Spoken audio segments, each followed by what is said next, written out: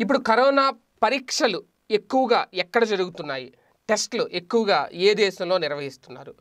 అంటే ముందు మనం ఎక్- ఏది గుర్తొస్తుంది అంటే అగ్రరాజ్యమైన అమెరికా గుర్తొస్తుంది. ఎందుకంటే మౌలిక వస్తువులు అలాగే సాంకేతిక అంశాలు పుష్కలంగా విచ్చలవిడిగా ఉండే రా దేశం ఏదైనా ఉంది అంటే అమెరికా.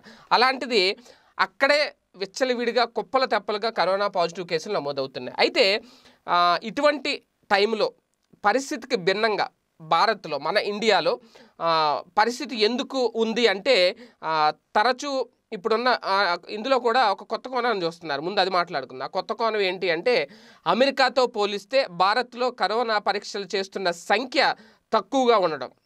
అలాగే పాజిటివ్ సంఖ్య పెరగడం లేదు అనే వాదన వినిపించడం. గతానికి భిన్నంగా ఇప్పుడు దేశంలోని పలు రాష్ట్రాల్లో కరోనా పరీక్షల్ని పెద్ద ఎత్తున నిర్వహిస్తున్నారు. దీనికి సంబంధించిన ఏర్పాట్లు చేసుకుంటున్నాయి అన్ని రాష్ట్ర ప్రభుత్వాలు సంబంధిత రాష్ట్ర ప్రభుత్వాలు. ఇక్కడ ఆసక్తికరమైన విషయం ఏంటంటే ఇక మన దేశం విషయానికి వచ్చేస్తే మిగిలిన రాష్ట్రాలతో పోల్చినప్పుడు తెలుగు రాష్ట్రాలను ఖచ్చితంగా మనం కంపేర్ చేసుకోవాలి కాబట్టి ఆ తెలుగు రాష్ట్రాల్లో ఆంధ్రప్రదేశ్ని మనం ముందుగా ఆలోచించాం కాబట్టి ఏపీలో కరోనా పరీక్షలు ఎక్కువగా జరుగుతున్నాయి అనేది ఇక్కడ ఒక విశేషంగా చెప్పుకోవాలన్నమాట. ఎక్కువగా జరుగుతున్నాయి టెస్టులు. అంటే చాలా స్పీడ్గా చేస్తున్నారంట. ఆ లెక్క ఏంటి అంటే మిగిలిన రాష్ట్రాలతో మినహాయిస్తే ఏపీ ఈ విషయంలో చాలా మిన్నగా ఉంది. అదే అని చెప్తున్నారు. ఎందుకంటే మన పక్క రాష్ట్రమైన తెలంగాణ చూసుకుంటే కనుక తెలంగాణలో ముందు చూపు ముందు పుట్టి తర్వాత కేసీఆర్ పుట్టారు అంటారు. ఎందుకంటే ఆయన ముందు చూపు అంత జాగ్రత్తలు తీసుకుంటారు ప్రతి విషయంలో. అలాంటిది అక్కడే తెలంగాణ కంటే ఏపీలోనే కరోనా పరీక్షలు ఎక్కువగా జరుగుతున్నాయి అనేది చాలామంది నిపుణులు చెబుతున్నమాట. ఎందుకంటే దేశంలో ప్రతి పది లక్షల మందిలో కేవలం నలభై ఏడు మాత్రమే కరోనా పరీక్షలు పరీక్షలు నిర్వహిస్తున్నారు. అందుకు భిన్నంగా ఏపీలో మాత్రం అంటే పది లక్షల మందిలో నలభై ఏడు శాతం అక్కడ పరీక్షలు నిర్వహించేది. అయితే ఏపీలో మాత్రం డెబ్బై ఎనిమిది పాయింట్ ఆరు ఉండేలా ఏర్పాట్లు చేస్తున్నారంట ఆ శాతం.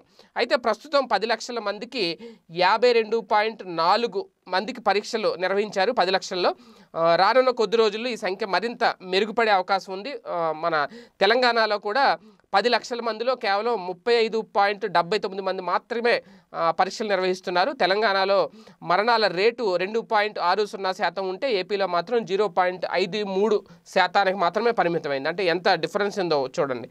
ఇక దేశవ్యాప్తంగా పలు రాష్ట్రాలతో కరోనా పరీక్షల విషయంలో కూడా ఏపీ ముందుంది అనేది నిపుణులు చెబుతున్నమాట మధ్యప్రదేశ్ అలాగే పశ్చిమ బెంగాల్ అండ్ ఉత్తరప్రదేశ్ ఇక్కడ ఈ ఈ రాష్ట్రాల్లో చూస్తే కనుక వరుసగా ఆ రాష్ట్రాల్లో ఏ రాష్ట్రంలో ఎంత ఉందనేది అంటే మధ్యప్రదేశ్ పశ్చిమ బెంగాల్ ఉత్తరప్రదేశ్. ఈ మూడింట్లో ఏడు పాయింట్ రెండు నాలుగు పది పాయింట్ ఆరు తొమ్మిది పది పాయింట్ ఆరు ఆరు మందికి మాత్రమే పరీక్షలు నిర్వహిస్తున్నారు. ఇలా చాలా రాష్ట్రాల్లోనే తక్కువగా పరీక్షలు చేస్తున్నారు. ఇదంతా ఒక అయితే దేశంలో మరే రాష్ట్రంలో లేని రీతిలో కరోనా పరీక్షల విషయంలో కేరళ కేరళ రాష్ట్రం చాలా ముందుంది.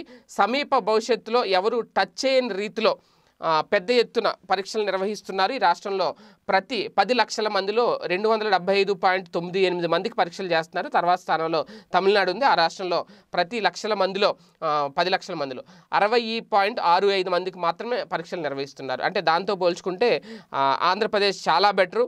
ఈ డెబ్బై ఎనిమిది పాయింట్ ఆరు ఉండేలా చూస్తున్నారంట. అంటే టాప్ అనమాట ఎక్కువ మందికి టాప్ మందే ఆంధ్రప్రదేశ్ ఉందన్నమాట టాప్ ప్లేస్లో. ఎక్కువ మందికి టెస్టులు చేస్తుంది. అంటే చాలా వేగంగా నిర్ధారించేస్తున్నారు.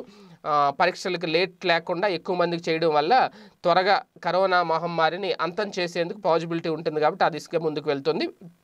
మిగిలిన దేశాలతో పోల్చినప్పుడు మన దేశంలోని రాష్ట్రాలతో పోల్చినప్పుడు టెస్టుల విషయంలో మాత్రం మిగిలిన అన్నీ అలా ఉంటే ఏపీ మాత్రం ఇలా ఉంది అనేది లెక్కల సారాంశం. ఈ వీడియో గనుక మీకు నచ్చినట్లయితే లైక్ చేయండి షేర్ చేయండి. మరిన్ని వీడియోస్ కోసం మా ఛానల్ను సబ్స్క్రైబ్ చేయండి.